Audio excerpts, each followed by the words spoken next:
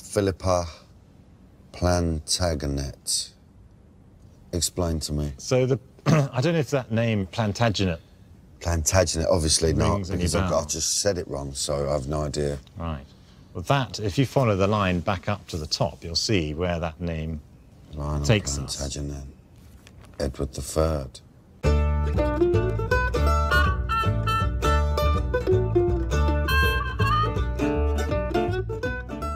Hello and welcome to Ear Read This. My name's Ash, and today I'm going to be talking about Edward III, another English history play about a Plantagenet king, one that some believe was written by William Shakespeare.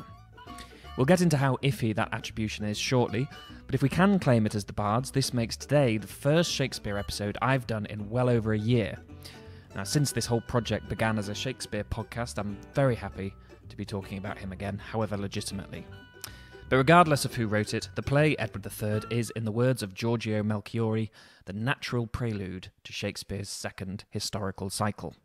Now, just in case anyone's confused about the order of these cycles, Shakespeare wrote his plays about Henry VI and Richard III quite early in his career, and later went on to write a sequence about the three kings that came before him.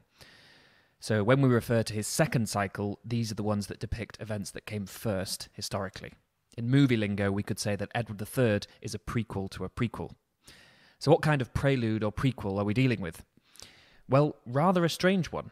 Shakespeare's accepted two cycles or tetralogies form an epic chronicle of disorder in England. They depict turbulent times for the Plantagenets, whose reigns come off more like periodic throne warming than sustained and assured rule. Three out of five of Shakespeare's kings meet violent ends, and the two that don't still die prematurely. Henry V is the only king to end his play in triumph, but that triumph is made bittersweet by its historical epilogue. Henry was perhaps only months away from being crowned King of France when he dropped dead, probably from dysentery. Edward III has a lot in common with Henry V, and their plays dramatise their respective involvements at opposite ends of the Hundred Years' War. Like his great grandson after him, Edward achieved famous victories in France and ends his play looking like an English Tamburlaine. If you've listened to our episode on Geoffrey of Monmouth, I think I mentioned the popular idea that had developed by Shakespeare's time that the Plantagenet dynasty was cursed from the start. And you could certainly believe it from Shakespeare's accepted canon of Plantagenet plays, where the rank diseases at large in the foul body of the kingdom are matched by the physical and moral decrepitude of the kingdom's rulers. And that is where Edward III is different. It is not a portrait of disorder, far from it. It is a victorious play, a happy precursor to what John Julius Norwich calls the rot that starts with Richard II. In Edward III, we have a strong, confident king, the antithesis of his father, Edward II. Edward III's position as monarch in the play is never shown to be particularly under threat. What he stands to lose are the spoils of prospective conquest, both romantic and territorial. In addition, Edward's life is never in peril, although momentarily his son, the Black Prince, is thought to have been killed, before emerging healthy and triumphant. And even if the Black Prince were to die in this play, and historically he would indeed predecease his father, Edward was prolific in producing sons and had four more as backup. So not only is his own reign out of danger, but so is his bloodline. So lots of military success and no serious threat to the succession. It doesn't seem very promising in the way of dramatic stakes. Sometimes the play feels as if it was written for a national holiday or jubilee. Its crowing depiction of a series of famous victories seem included for historical record and celebration rather than uh, drama. There was a good reason for this sense of pageantry. A few years before the time of writing, the English had another famous victory. This was the success of Queen Elizabeth's fleet over the Spanish Armada. As I mentioned in my episode on Edward II, the surge of patriotic feeling that followed this event led to a greater interest among the English people in their own history, thus growing their appetites for chronicle plays. Now, prose chronicles were in existence as well. In 1480, William Caxton had printed the Chronicles of England, for example. But for the majority of Elizabethan England, history was being written in the playhouses. Dr. Anne Kagi writes that the contribution made by theatre to this generational project of writing the nation of England into being was unique, for the English history play provided a popular means for Elizabethan audiences to participate in the twin processes of remembering and forgetting. Forgetting, as we will see demonstrated throughout the history plays, is just as important as remembering when it comes to shaping a national identity. Now, if Shakespeare did write Edward III, it is the play of his that comes nearest to undiluted propaganda. Edward's naval victory over the French at Sluys serves as an irresistible opportunity to revel in the more recent maritime trouncing of the Spanish. This involves a pretty mad sequence in which a French mariner relates to his king at great length of how completely humiliated they have been at the hands of that proud armado of Edward's ships. You might have noticed throughout Shakespeare that there are messengers who pop up here and there and take a little bit too much pleasure in delivering serious or gruesome news. There is the sergeant at the start of Macbeth who, despite or perhaps because he has received some injury, reports on the outcome of battle in lavish detail. There is also Carlisle in Richard II, who delivers bad news with such agonizing carefulness, you wonder if he isn't getting some kind of sick kick out of it. You also begin to wonder if small roles like these could be read as commentaries on the kind of actors who might be given to making the most of them. But anyway, the mariner in Edward III outdoes the lot. Who knows what the French king's face is supposed to be doing as this subject of his waxes on and on about the glorious, bright aspect of their enemy and the bloody carnage they have reduced their fellow Frenchmen to. It's incredibly silly nationalism, but contains some of the most luxuriant poetry in the play as well as an anachronistic morsel of interest for the historian. Here, the mariner describes the formation of the English fleet, which is in fact how Elizabeth's ships lined up against the Armada. The fleet, a grove of withered pines, figuring the horned circle of the moon.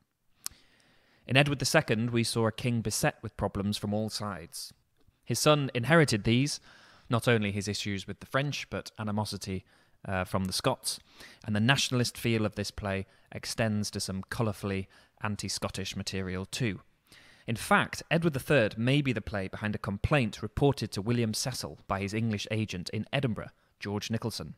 He writes from Scotland, warning his master, It is regretted to me in quiet sort that the comedians of London should in their play scorn the king and people of this land, and wished that it may be speedily amended and stayed lest the worst sort getting understanding thereof should stir the king and country to anger thereat.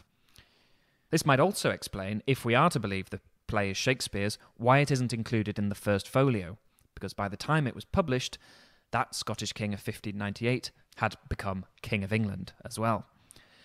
All in all, if you shrink the accepted Plantagenet history plays down to a single story, Edward III could play as the wild shriek of trumpets and sword rattling that sets the scene and gets people in their seats. Or at least the second half could. The play is emphatically split in two and reads almost like two short, somewhat connected pieces. It makes sense militaristically, as Edward was ever at risk of a war on two fronts, so we might expect to spend one half of the play facing off the Scots and the second facing off the French. That seems to be the plan until Edward gets sidetracked by the vision of the Countess of Salisbury, who, despite being married to a friend and Edward being married himself, he attempts to seduce. The Scots that the Countess has been warding off on the border are forgotten, as she instead has to ward off the advances of King Edward. This she manages to do, showing great cunning and moral courage. Edward snaps out of it, and in the second half, we see him back in the role of warrior king as he and his son embark on a series of stunning military victories. It is the abruptness of this shift that makes the play feel like two plays, and is perhaps why David Rintoul, an actor who has played Edward III, chose to summarise the play as follows Fail to thump Scots, fail to hump Countess of Salisbury, thump French.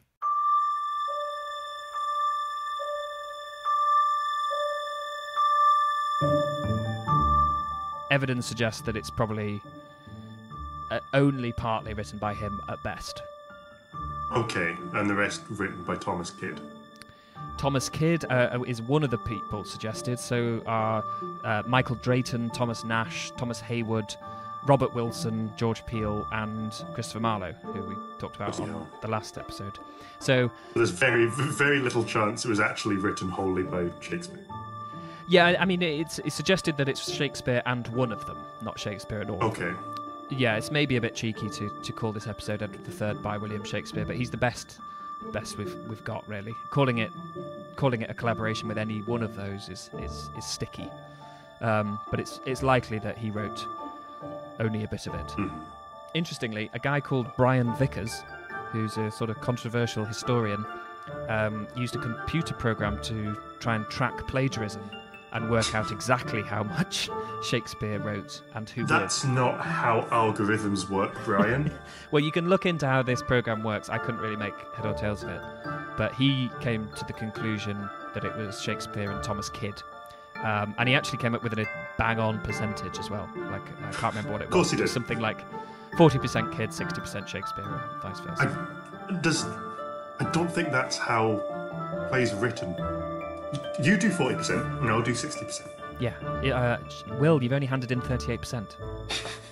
the audience will be crying out for that further 2%, and God knows I won't be doing it. Let's get stuck into the question of authorship in regard to Edward III. It was first published anonymously in 1596, as was customary at the time. Plays were treated as the property of the stage companies, the names of authors not listed. It wasn't until 1616 that a publisher called William Stansby took the unprecedented action of printing the works of Benjamin Jonson, taking Jonson's plays as serious literature and placing significance on single authorship. In that same year, Shakespeare died, and seven more would pass before Hemmings and Condell collected the first folio, 36 of Shakespeare's plays attributed to him. And the first damning bit of evidence for those keen on linking Edward III and William Shakespeare is that the play is not in it. It has been suggested that this may have been due to Hemmings and Condell not being able to secure the rights of the play from its original publisher, or also that it would be a dangerous play to print with a Scottish king on the throne. Either way, for over a century, Edward III remained anonymous. Edward Capel was one of the first to suggest a link between Edward III and Shakespeare, writing in 1761 Something of a proof arises from resemblance between the style of his earlier performances and the work in question, and a more conclusive one yet from consideration of the time it appeared in, in which there was no known writer equal to such a play. This is a sentiment that surfaces often in arguments about whether or not Shakespeare had a hand in plays. Well, it's too good to have been by anyone else. Which, for starters, is deeply unfair on many great writers of the period. It is not the fault of Shakespeare's contemporaries that their careers happened to coincide with his. There are scenes and characters and even whole plays by writers like Jonson, Marlowe, John Fletcher, and Thomas Kyd that could feasibly and convincingly claim to be equal to some of Shakespeare's work. There are also scenes and perhaps a whole play or two by Shakespeare that aren't unquestionable masterpieces. And even disregarding the names of the playwrights we do know of, what about the untold number we don't? The customary anonymity of playwrights of the time mean that there are many unattributed, brilliant plays penned by those whose names are lost to us. Of playwrights working at the time of Edward III's first printing, only two received collected editions connected to their own names Shakespeare and John Lyly, which means that famous plays like Tamburlaine, which were published anonymously, were only reunited with their original authors through historical evidence. No such evidence exists connecting Shakespeare to Edward III. Instead, what we have is centuries of distinguished critics hoping and inferring it is so. Richard Farmer in 1767 said, I have no doubt but Henry VI had the same author with Edward III. Victor Hugo, who translated Shakespeare into French, also agreed and said that Edward III was written by the bard. Eric Sams has such confidence in its authorship that the subtitle of his book on the subject described Edward III as an early play restored to the canon. But with little documentary evidence linking playwrights to plays, scholars have to come up with interesting methods of comparing texts. One such method is by comparing the n-grams of two works, an n-gram being a numeric sequence of words or values in a text. A trigram, for example, is a string of three words used together. Brian Vickers used this method on Edward III and, based on his findings, said that 40% of the play is written by Shakespeare, the rest by Thomas Kyd. I've not really read enough about the studies using n-grams to comment with proper understanding, but it seems from a distance to be a pretty shaky method to use on the playwrights of the Elizabethan era. For starters, it has too formal an idea of collaboration. Plays could be written by up to five different authors, and between half and a third of all plays written during Shakespeare's lifetime written by more than one hand. Furthermore, playwrights like Shakespeare are likely to have been players as well, so they were acting in one another's plays. Given the liberal magpieing of shiny phrases here and there, I find it very likely that a playwright might snaffle off a choice trigram if it caught the light right. Kenneth Muir writes, If Shakespeare had no hand in the play, he was at least intimately acquainted with it, more intimately than with any known Elizabethan play. There is also the issue of Shakespeare having the unfair advantage of a much greater canon to work and source his n-grams from. Shakespeare leaves a canon of nearly 40 plays, on top of that, long poems and an enormous sequence of sonnets. That's an awful lot of trigrams under his name. By contrast, other playwrights who emerge as reasonable candidates for either author or co author of Edward III don't have comparable canons. Kyd, for example, is dead by 1594, uh, so Shakespeare feasibly could go on using Kydisms for another 18 years and effectively hijack those trigrams for himself. But aside from trigrams and n-grams, others have pointed to the incidence of feminine endings on the verse lines in Edward III, which is a Shakespearean hallmark, but again, not unique to him. Most notably, perhaps, there is a single line in the play that recurs in Shakespeare's Sonnet 94 Lilies that fester smell far worse than weeds. If Shakespeare did write Edward III, it raises the interesting possibility of London playhouses either collaborating or competing with each other on another tetralogy of Plantagenet King plays set before the two written by Shakespeare. First, there is the play referred to as Harry of Cornwall about the childhood friend of Edward I. Then, Edward I got his own play written by George Peele, followed by, of course, Marlowe's Edward II and this play, Edward III. Chronologically, this would just about add up as Edward III appears in the Stationers' Register in 1595, the same year that Shakespeare's next cycle of plays began with Richard II. It seems to have been a popular play, having been performed sundry times, according to the 1596 title page. But there is no theatre company mentioned, so we can't match it to one associated with Shakespeare. All in all, there are too many questions remaining to say with confidence that the play is his, as much as we may like to. As Patrick Juola said on the authorship problem, there are too many mediocre solutions and not enough that are both good and principled. So this was Edward III. Unfortunately, he doesn't have a uh, fabulously long name like uh, Edward II. That's a shame. I think it's just something like the reign of Edward III. Um, so it's printed in uh, 1596. Again, it's unsure kind of when the when the performances, the first performances happened. hmm Um, it's not. It doesn't pick up exactly where Edward II left off. Instead, it um, jumps way into uh, Edward III's reign and deals with his troubles with the Scots and the French. Always troubles. Lots and lots of troubles. So it's a weird play because he, he has there's plenty of drama in Edward III's life, and one of the biggest ones was trying to make sure when he attacked France or he attacked Scotland, the other one didn't choose the moment to um, you know Sure. invade themselves. Um, and that sort of dynamic splits the play totally into two. So the first half is about him going to quell a Scottish rebellion, Mhm. finding the castle that's currently sort of being troubled by Scots, Yeah. occupied by the Countess of Salisbury, who Edward III meets and decides to shag. And he, he will do anything to try and basically one of his allies' wives. He's married as well Okay. um, he embarks on this fairly um, predatory campaign to um, woo her. Okay. This goes on for half of the play, and then he decides, "Ah, that's a bit wrong. Actually, um, I feel ashamed now," and he gives up. After which, he jumps to France and deals with um, them instead. Okay. I have to say, this is one of the probably only Shakespeare plays I haven't actually watched a production of in some form or the other.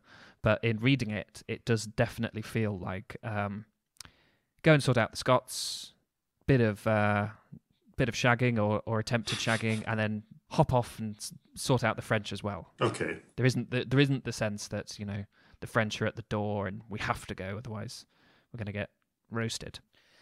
After deciding to lay his claim to the French crown, Edward is called to relieve a countess on the Scottish border. The countess is the wife of the Earl of Salisbury, a friend of the king's who we will meet in the second half in France. When we first see the countess, she is holding off the Scots, led by King David, and slighting them for good measure from the ramparts of Roxburgh Castle. The Scots scatter on the arrival of Edward, and the Countess is, to her surprise, soon besieged again, this time from the love struck King Edward. Historically, according to John Julius Norwich, the identity of this lady is not so much a mystery as the result of a chaotic confusion on the part of Froissart, and other less trustworthy sources. She is probably based on Alice Montague, whose husband, Edward, was the governor of the Earl of Salisbury's castle of Wark, and whom the king is known to have tried unsuccessfully to seduce. And there are other stories from Edward's reign that may have contributed to his depiction as a seducer. Later in life, as his queen was succumbing to dropsy, Edward took one of her ladies in waiting, Alice Perrers, as a mistress. Perrers was rumoured for several years to be the de facto ruler of England as Edward descended into grief and senility in the years after his queen Philippa's death. It would be interesting to know how an Elizabethan audience would respond to the events of this first half. Nowadays, we are very familiar with the ways in which powerful men abuse their position in sexually predatory ways, and a modern audience wouldn't fail to see this on display in Edward III. Here we have the King of England advancing on the Countess, saying, Thy opposition is beyond our law. It is the most dramatically interesting section of the play. Edward is transformed, like Proteus in The Two Gentlemen of Verona, from a hero to a sinisterly possessive character. The Countess is abandoned. Even her father agrees with King Edward when the king demands he instruct the Countess to yield to him. With only her wits, she parries Edward's advances until finally threatening to kill herself rather than submit to him. Only then does Edward come to his senses, briefly admit to being ashamed of himself, and then head off to his French wars. Edward's assault on the Countess is seen in militaristic terms. The phrase of Lodwick, the king's secretary, is a lingering English siege of peevish love. It's worth noting that at the time, cities were depicted allegorically as women. So it is perhaps not surprising that the Countess threatens suicide. The law of chivalric romance is do or die. The supposedly honourable knight errant, if he happens to fall in love with a bit of road damsel, is usually obliged to have her, die in her service, or destroy himself. This is in keeping with the Renaissance ideal of warring love. Romeo and Juliet shared similar sentiments, and Edward seems to acknowledge the lingering death wish behind his affections by comparing the Countess and himself to the doomed lovers Hero and Leander. A certain romantic cynicism is shown in Edward calling in Lodwick, his secretary, to compose his love letters for him. Even though he comes to dismiss Lodwick's efforts and decide that love cannot sound well but in lovers' tongues, the way in which he was prepared to brainstorm his advances smacks rather coldly of military tactics before the charge. Later in the battle scenes, the play seems to confirm that heaven aids the right. There is much talk of whose side God is on and how prophecies are to be interpreted. While Edward seems to be granted every success and be proven right in every prediction he makes, his rival King John is shown to reliably misconstrue prophecies. The question arises then in his assault on the Countess, is Edward reaching the limits of his divine right, or is he being tactically outthought? The Countess defends her virtue, not to mention her husband's honour, as if it were her land. As if to highlight the parallel between the type of war on show in a woman's defence of her virtue and real war, Edward's wife, Queen Philippa, is later seen pregnant on the battlefield. Women warriors were not unheard of between the 12th and 14th centuries, and Queen Philippa may well have been one of them herself. There are references in the work of the chronicler Froissart to Queen Philippa leading an army as a young and comely princess, the mother of heroes. And in a sense, the Countess corrals King Edward onto his military victories in France, giving him moral instruction as she does so, perhaps ensuring that he stays on the side of the right and therefore on the side of heaven. So that's the play side of things. We've done it in a different order to the last one, but uh, on the history side of thing, this was a king who was coronated at 14. His his children, as I mentioned in the um, Marlowe episode, with included the Black Prince and John of Gaunt. John of Gaunt will be a major character in the next play we talk about, Richard II, Mm-hmm. as a kind of older man. Um, and he was generally thought to be a very good king. He he was a strong contrast, uh, opposite to Edward II, who was flamboyant and hmm uh, had all of his uh, favourites that people didn't like. And instead, Edward III was strong, upped the country's morale, was successful in lots of wars, and then um, ended up in a bit of a panic towards the end of his reign because his, his succession was um, fudged by the bloody Black Prince, who looks like the perfect next king, dying of dysentery. That's so so many of them go like that. Be it cholera, be it shitting themselves to death. There's a lot of shitting themselves to death. I mean, Henry V went the same way, dysentery. Yeah. Whether or not Edward III should indeed be restored to the canon, he casts a very long shadow over Shakespeare's accepted history plays. The first tetralogy climaxes with the Wars of the Roses, in which different members of the Plantagenet clan fought for the right to rule. These are, of course, the family members in the famous houses of York and Lancaster, and Edward III was progenitor of them all. He was remembered as a strong king, personally and militarily, a relief for the subjects who could remember the rule of Edward II. According to Peter Ackroyd, he could not have made a stronger contrast with his unfortunate father. He is generally reported to have been convivial and engaging. One of his mottos, woven into his jacket, stated simply, It is as it is. Edward wasted little time in making clear the distinction between him and his father. With the memory of the terrible English defeat at Bannockburn still raw, Edward recaptured Berwick. At the start of the play, we hear those treacherous Scots have broken a truce with the King of England and mounted invasions across the border. But as John Julius Norwich says, Edward had in fact no such league with Scotland. Rather, he had been coerced as an adolescent king into signing the Treaty of Edinburgh Northampton, which recognised Scotland's independence under Robert the Bruce. The Bruce had his young son, the future King David, married to Edward's sister, Joan. At this point, Edward was still under the control of his mother, Isabella, and her lover, Roger Mortimer. Edward III would capture David in 1346 and only release him as part of the Treaty of Berwick in 1357, in which England and Scotland entered a bitter truce. Scotland forced to pay reparations after Edward and his forces had sacked Edinburgh. By this time, Edward had achieved his famous victories in France, and the rise of English fortunes, as well as the humiliation of the Scottish allies across the Channel, contributed to the Scots accepting a ceasefire. Edward's disputes with France began back in the 1320s upon the death of the French king Charles IV. Charles, known as Charles the Fair, was the last surviving son of Philip the Fair. Charles's brothers, Louis the Quarreler and Philip the Tall, had both died without having sons of their own, and unfair as it might seem, Charles didn't have any either. His death, therefore, led to a succession crisis. One surviving sibling was Isabella, wife of Edward II, mother of Edward III. It was through her that Edward laid claim to the French throne, something that the French rejected on the grounds of the Salic law, a penal code dating back to the 6th century, which the French fudged up in order to justify barring women from taking the crown. The French were never going to let Edward rule them, and instead they elected Philip of Valois. The entire history of this is laid out at the start of the play in rather heavy handed exposition that requires Edward to momentarily forget his own family tree. But was my mother sister unto those? he asks. Yes, he is told, but the French obscured your mother's privilege, and though she were the next of blood, proclaimed John of the house of Valois now their king.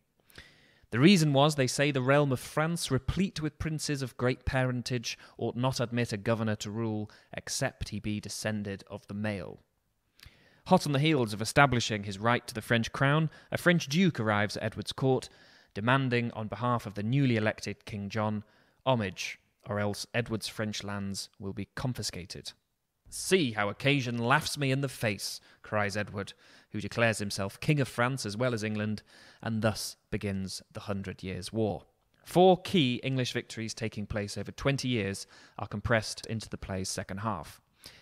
These are, in order, the nautical victory at Sluys, the 1346 victory at Cressy, the successful and crippling siege of Calais from 1346 to 47, and the Battle of Poitiers in 1356. So much history is here condensed that the author found it necessary to replace King Philip with his son John II, as by the time you reach the ending at Poitiers, Philip was already dead. Edward invaded in 1339, causing untold damage to the French towns and countryside.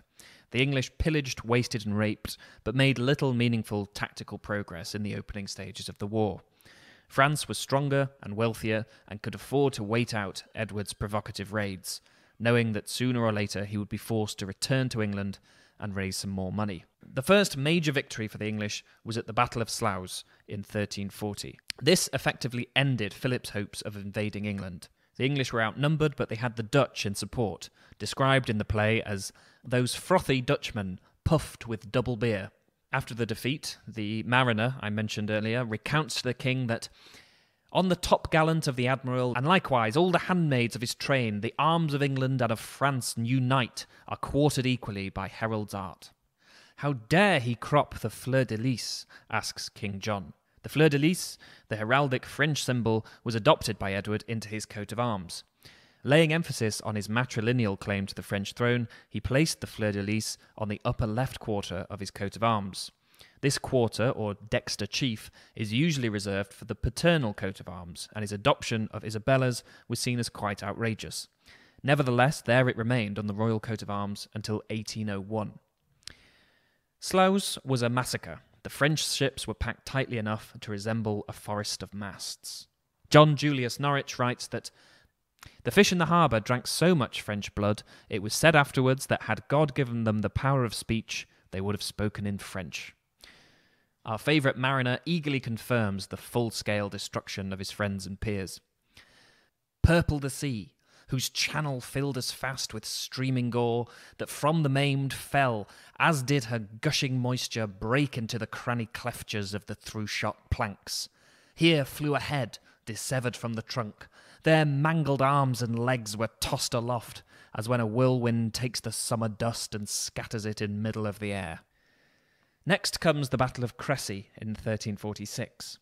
Foreshadowing Agincourt nearly 70 years later, the English victory was due in large part to the success of English longbowmen, who could pick off the French charges as they struggled up muddy hills. Edward took no prisoners, and the wounded were dispatched with a misericorde, or mercy killer. This was a long, thin knife, so designed to be poked through the gaps in a knight's armour.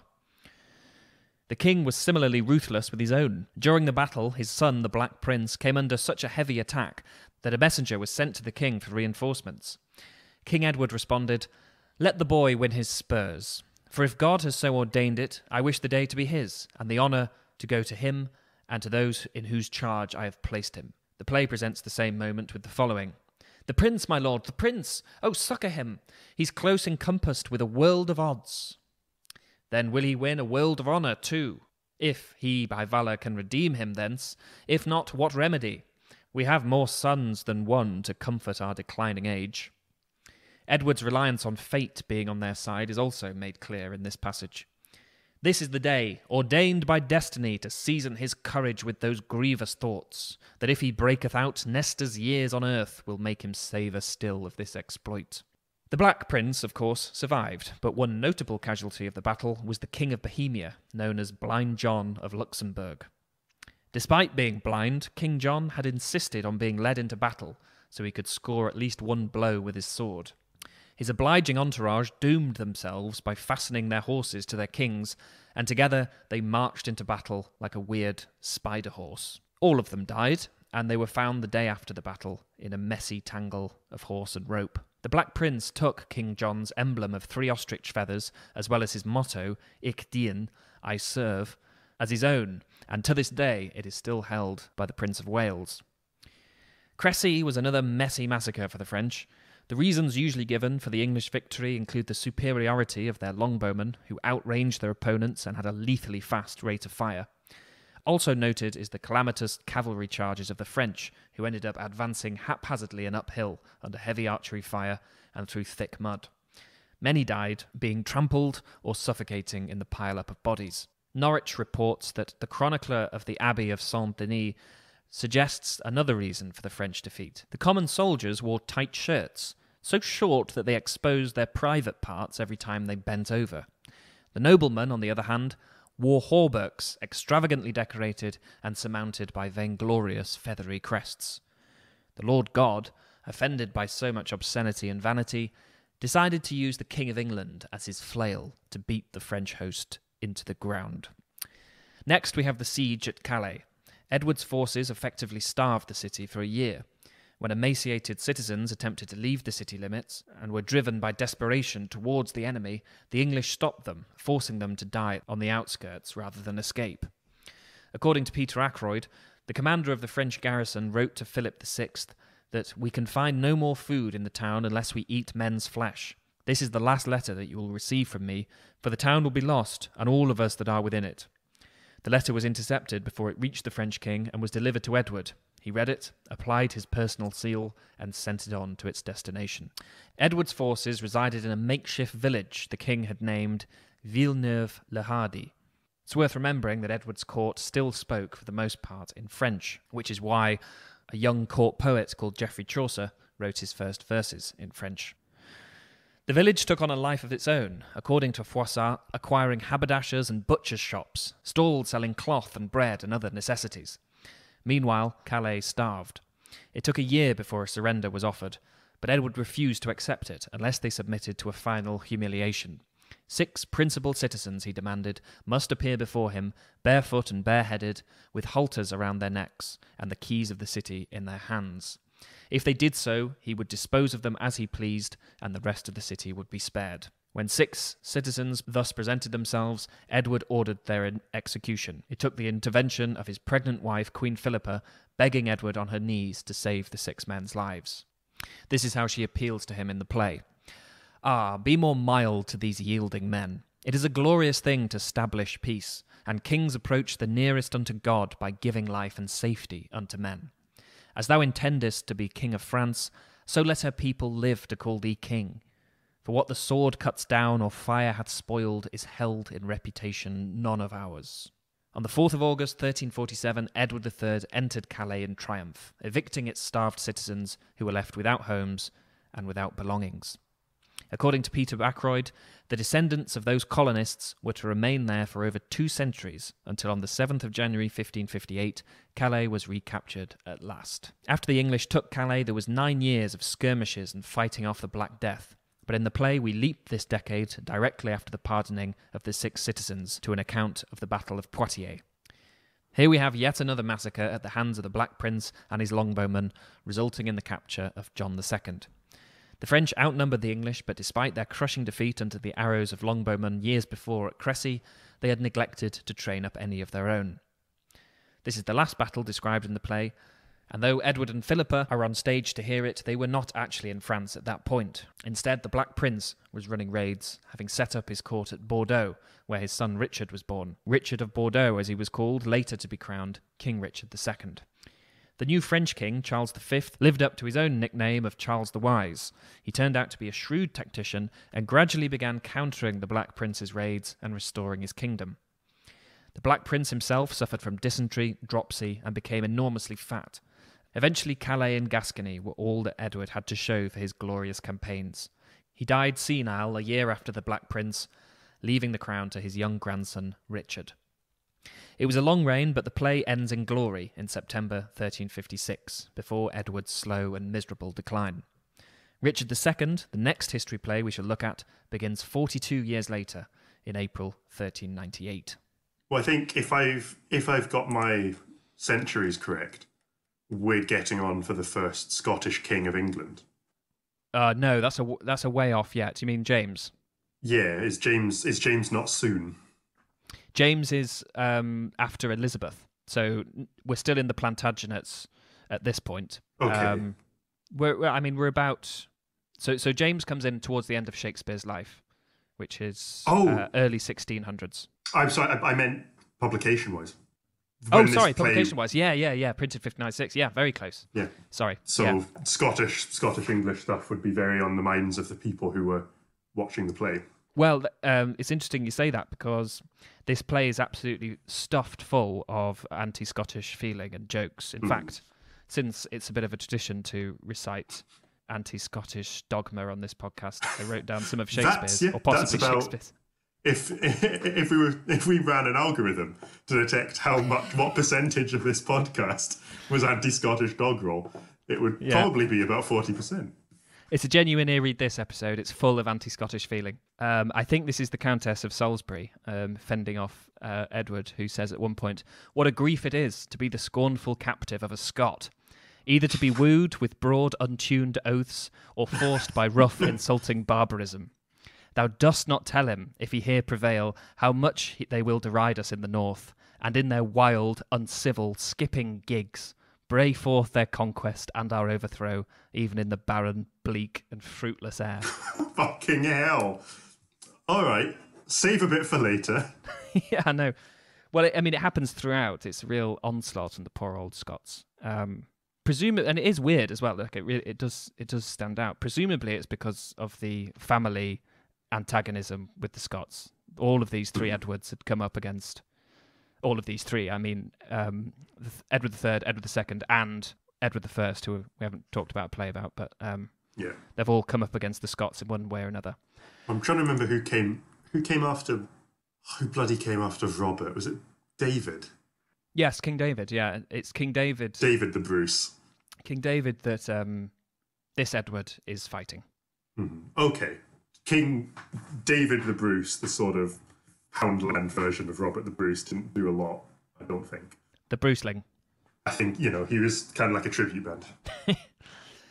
It's a lot. To be fair, it's a hell of a pair of big pair of shoes to fill. Yeah. Hell of an act to follow.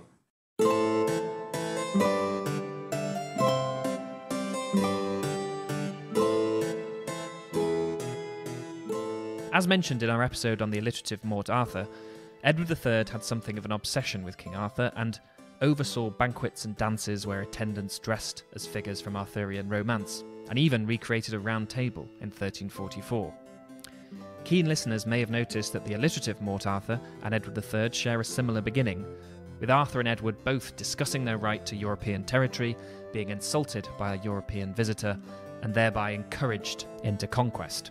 The prophecy of Arthur's return was a popular one, and as early as 1330, Edward was being described as Arthur reincarnated.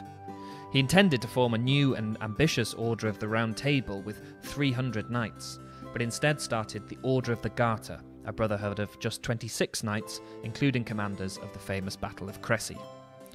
The origins of the Order of the Garter are subject to debate, but one tradition holds that a certain Countess of Salisbury was attending a ball when her garter fell off. To hush the laughing spectators, the king snatched up the garment and returned it to the countess, saying, Shame on him who thinks ill of it, a phrase which subsequently became the order's motto. They both sound un- unusual. They're not the blueprint of the classical history play.